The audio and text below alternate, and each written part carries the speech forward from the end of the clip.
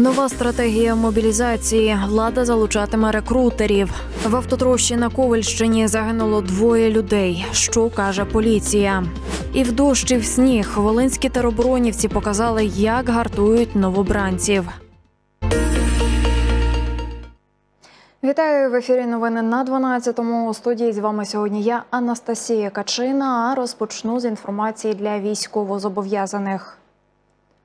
Український уряд планує змінити стратегію мобілізації. Як повідомив секретар РНБО Олексій Данілов, зокрема, влада має намір використовувати рекрутингові компанії. Вони виявлятимуть людей із певними навичками, які хочуть допомагати армії, але не хочуть на фронт. Таких відмовлятимуть від спроб ухилятися від мобілізації, кажуть. Призовники мають розуміти, що не просто вирушатимуть на фронт, а будуть займатися тим, що відповідає їхнім навичкам. Данілов пояснив, мовляв, деякі люди бояться померти чи бояться стріляти, але це не означає, що вони не можуть бути залучені в інші види діяльності, наприклад, у механіки чи зварювальники. Він наголосив, мобілізація стане більш гнучкою, оголосять ті спеціальності, які потрібні, і люди будуть заявлятися на конкретну посаду. Тим часом у Волинській бригаді тероборони підсумували роботу мобільних рекрутингових груп. Кажуть, ці групи повністю себе виправдали. Вони нагадаю працюють в різних населених пунктах області, ставлячи інформаційні намети. Тепер військові демонструють відео, на якому показали тренування воїнів-новачків. Пройшовши базову військову підготовку у навчальних центрах та повернувшись у бригаду, новобранці продовжують посилений військовий вишкіл з досвідченими інструкторами, які мають великий бойовий досвід. Тільки після того нових військових задіюють у бойових операціях. У Волинській бригаді зазначають, саме такий підхід командування до підготовки особового складу забезпечує гідне виконання бригадою бойових завдань на Бахмутському, Лиманському та Куп'янському напрямках. Одночасно запрошують усіх охочих ставати до лав Волинської бригади і тримати стрій разом під бойовим прапором сотки. Поки збройні сили вибивають ворога зі сходу України на північному кордоні працюють над укріпленням і захистом від Білорусі. За словами військових, обстановка там абсолютно відрізняється від тієї, що була у 2022 році. На кордоні з Білоруссю наші захисники створили системи інженерних загороджень, а також протитанкові та протипіхотні мінні поля. Як там зараз? Дивіться у сюжеті. Триває 642-й день повномасштабного вторгнення. Найактивніше ворог атакує на Авдіївському та Бахмутському напрямках під постійним вогнем і прифронтові міста і села. На кордоні з Білоруссю тим часом цілодобово пильнують непередбачливих сусідів прикордонники. Поки ну, тиша. От, ото ще як було, то ж ви як вагнеровці в Білорусію приїхали, то щось, ну щось таке от крутили, що вони то на полігоні там. Загроза повторного вторгнення з території Білорусі, за словами захисників, нині низька. Утім, оборонці несуть службу при повній бойовій готовності. Вони постійно працюють над укріпленням та облаштуванням додаткових позицій. Щодо пунктів пропуску з Білоруссю, то вони нині стали пунктами непропуску. Як пояснили прикордонники, усе заміновано. Це фактично перша лінія перед Білоруссю. Окопи майже добудовані. Єдине, ще вони не накриті маск-сітками. Обладнані позиції ДШК, кулеметника, гранатометника. Також до окопів під'єднані керовані міни. Зліва, справа і перед нами знаходяться мінні поля. За словами оборонців, нині вони забезпечені усім необхідним озброєнням та технікою. І якщо раптом ворог надумає сунути в нашу державу ще й з іншого боку, зокрема через Волинь, йому не вдасться ні пройти, ні проїхати.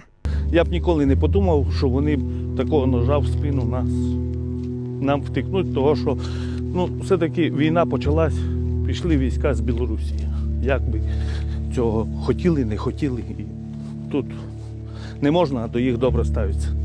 Працюють в державі над захистом з повітря. Як зазначив днями президент України, в областях, які межують з Російською Федерацією та Республікою Білорусь, найскладніша ситуація із засобами протиповітряної оборони. Зі слів секретаря РНБО Олексія Данілова, найближчим часом наша країна отримає додаткові протиповітряні засоби, які допоможуть захистити та зберегти об'єкти інфраструктури. Напередодні зими сказав, проблема протиповітряної оборони стоїть гостро. Влада працює над цим питанням, адже українці мають бути в теплі і зі світлом.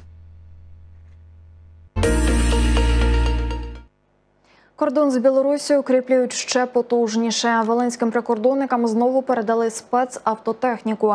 Йдеться про автівки, генератори, телевізори для віддаленого відеоспостереження. Крім того, волинські рятувальники перевезли колегам-прикордонникам плаваючий транспортер. Він незамінний у надзвичайних ситуаціях, важливий і для транспортування водою військових а також різних вантажів. Отриману техніку та майно військові будуть використовувати в підрозділах, які забезпечують охорону та оборону українсько-білоруської ділянки в межах Волині.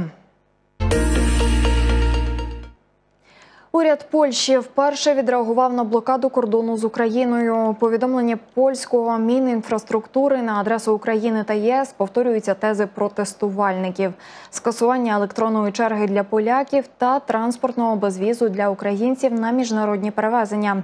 Тож Міністерство інфраструктури Польщі просить Україну скасувати обов'язкову реєстрацію в системі є черга вантажівок, які повертаються з України до ЄС. Мовляв, через цю систему водії поляки чекають набагато довше.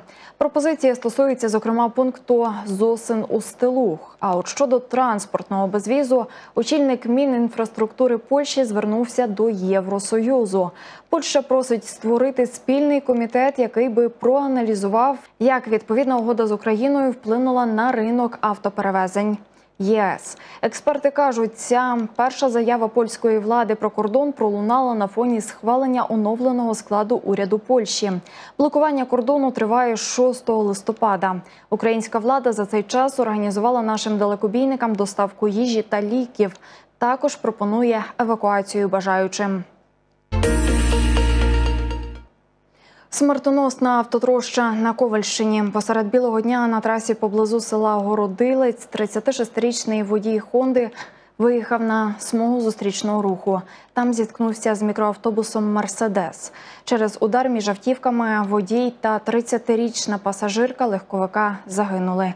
Їх діставали рятувальники. Відомо, що прізвища у них різні. Тим часом водій і пасажир буса мали легкі травми.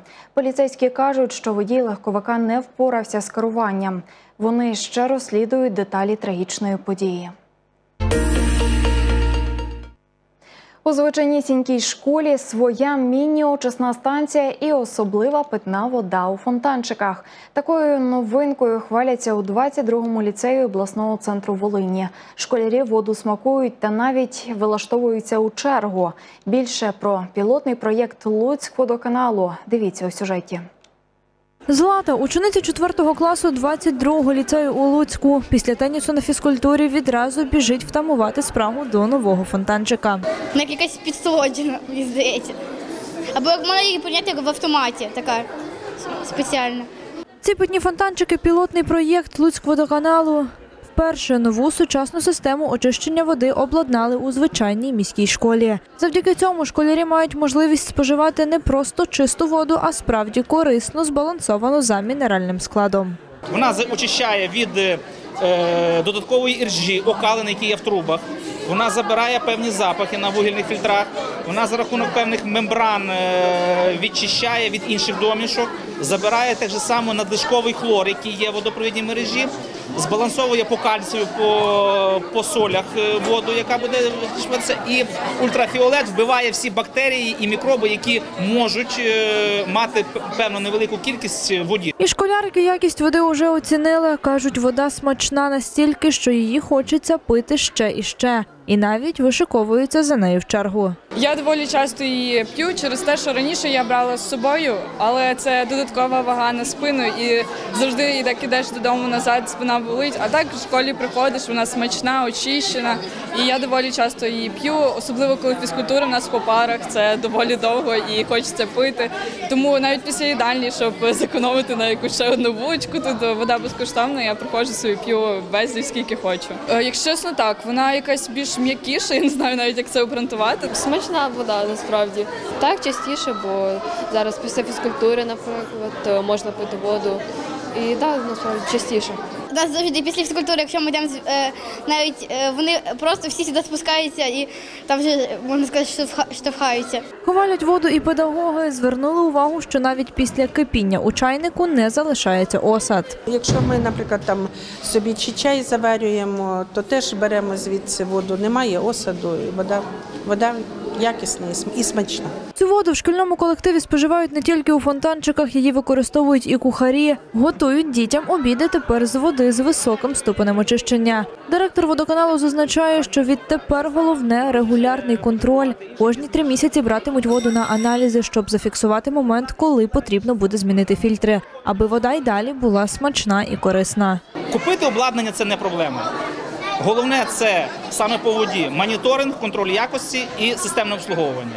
Оце саме ключове. Фонтанчики вони є безконтактні, тобто діти не контактують, не додатково не потребує там пластикової тари і так далі. Ця система очистки мала бути впроваджена ще 2021 року. Закупили обладнання, однак гарні плани перебив карантин. Тому такі фонтанчики з'явилися у школі аж тепер. Подбали окремо і про їхній дизайн. Ми зробили графіті таке те- більш відносно тематичне і відносно саме оздоблення питних фонтанчиків, воно спонукає дітей споживати. Діти зараз вибагливі і вони хочуть якості, якості як по посуді, по зовнішньому вигляді. А от чому такий пілотний проєкт реалізувався саме у 22-му ліцеї, директорка розповідає з гордістю. Е, Чому 22 школа нам запропонували? Бо е, Віктор Миколайович, е, випускник нашого закладу освіти, він прийшов, каже, Лариса Віталіївна, давайте спробуємо. Ми, звичайно, були за. У водоканалі кажуть, нову систему перевірили, і вона працює. Якщо будуть запити від батьків чи вчителів інших навчальних закладів міста, то комунальне підприємство готове взятися. Користь води для здоров'я недооцінювати не можна.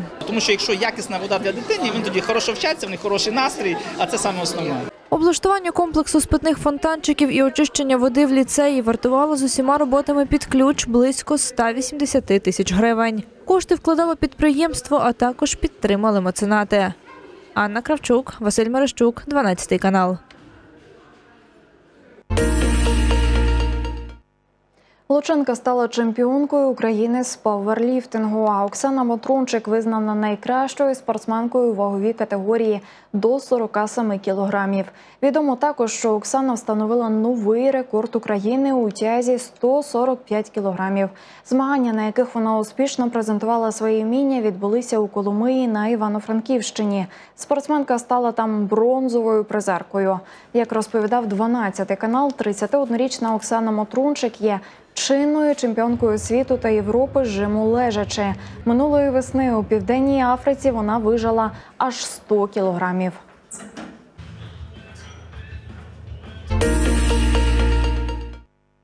Військовий став на коліна, дякуючи школярці за підтримку армії. Щемне відео зняли в ліцеї міста Любомля і, показуючи його іншим, розповіли історію. Одна з учениць, коли заклад передавав допомогу на передову, доклала від себе малюнок 100 гривень та шоколадку. Гостинець Ані дістався командиру першої механізованої бригади Сергію Орисюку. Днями захисник прийшов у відпустку і навідався у школу уже зі своїм подарунком.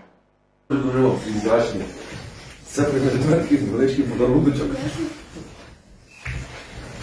І це для класу, от пішла діточку. Дякую щиро, щиро дякую. У клас, де навчається шестикласниця, військовий прийшов посеред уроку. До його приїзду у школі готувалися, однак для дівчинки ця зустріч стала щемною несподіванкою. Поки все ще більше цікавого на нашому ютуб-каналі Новини 12. Коментуйте, тисніть на дзвіночок і ставте вподобайку. Бережіть себе, донайте на ЗСУ і залишайтесь з нами. До зустрічі.